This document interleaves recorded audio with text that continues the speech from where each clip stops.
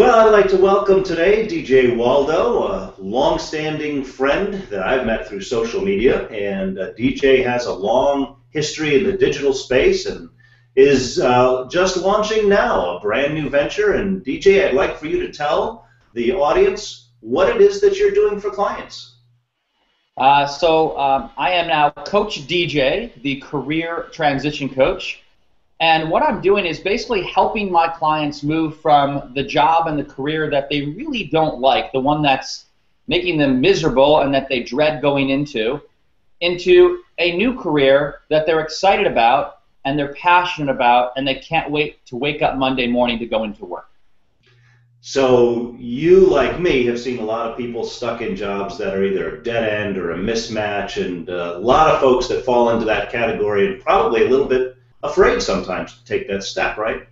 Yeah, exactly. In fact, I was just reading a book the other day that, that showed this interesting stat. This is a worldwide stat from a Gallup poll or something that to- talks about the number, the percentage of people who do not feel engaged at work, and the numbers would blow your mind. It's like 80, high 80% people in the world, and the number is a little bit lower in the U.S. by the way, but it's still well north of 60% of people in the United States are not engaged at work. And you can interpret that in many different ways. I take that as they're not happy with what they're doing. They're not motivated. They're not enjoying what they're doing. And my thought is, life is way too short and you spend way too much time at work to not love what you're doing. And let me be clear, I'm not suggesting that you love every single day.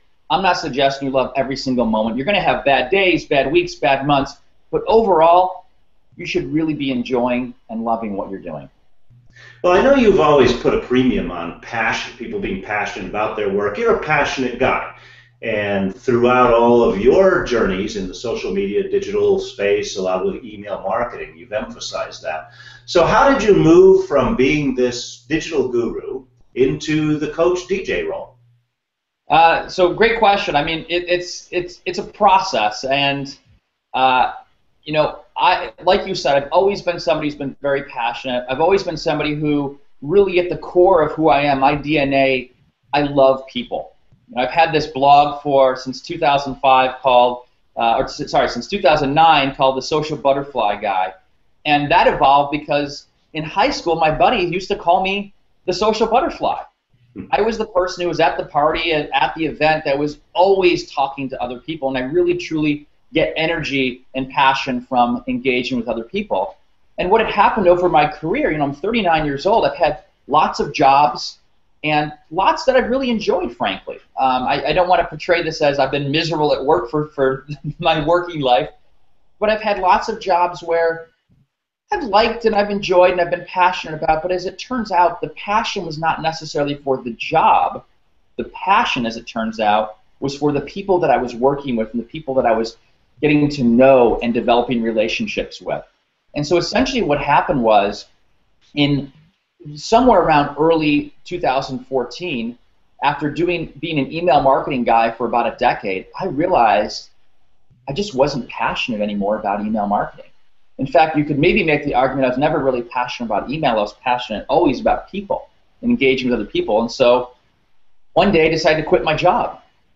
And when I quit my job, my job became to rediscover my passion. And when that happened, when I wrote a blog post about this whole quitting my job, rediscovering my passion, what I found was I got inundated with phone calls and tweets and messages from different people saying, well, I would say 20% of the people said, Whoa, I've been there before. I'm now loving what I'm doing. Let's talk. Definitely talk to those people. And then the other 80% of people said, Ugh, I hate what I'm doing. I'm miserable. I'm not passionate. Can we talk? And I said, Sure. But my thought was, Am I going to help? I'm trying to rediscover my passion too. What am I going to do to help this group of people? And what I found over time was those conversations were really the most fulfilling and the ones where, as it turns out, I really could offer something and I could help them. I've been through a lot in my life. 39 years does not sound like a long time on this planet, but I've had lots of experiences and I've quit jobs and I've been let go from jobs.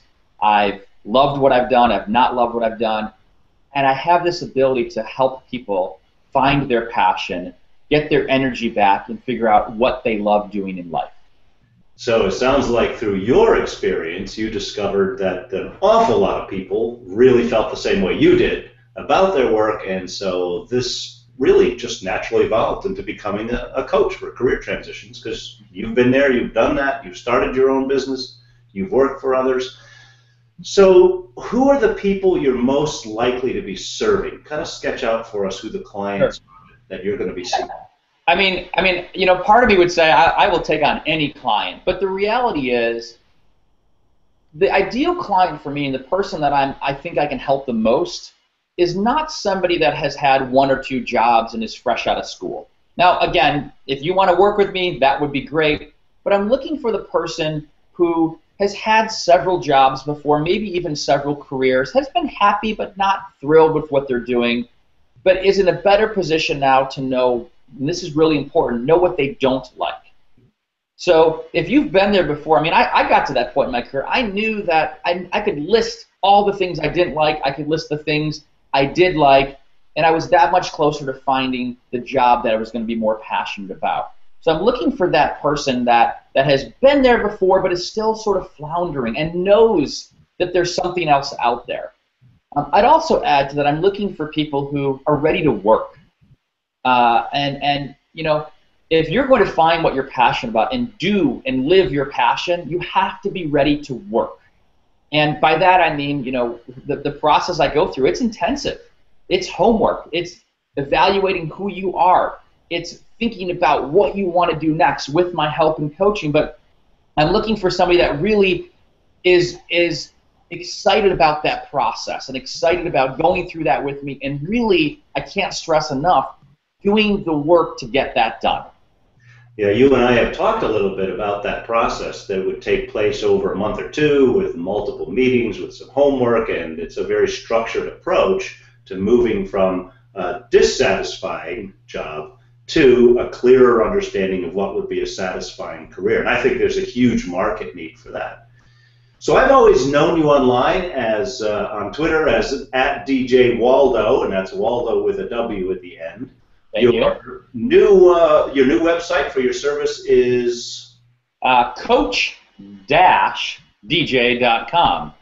Coach-dj. That ever important dash, Steve, is, is critical. Yeah. Um, forget the dash. Yeah. So coach-dj.com is where you can find me. Um, I, I, tell people all the time. I mean, I have this blessing and curse of having a first name of DJ and a last name of Waldow, uh, because you mash those two together and I'm the only DJ Waldow on the social web.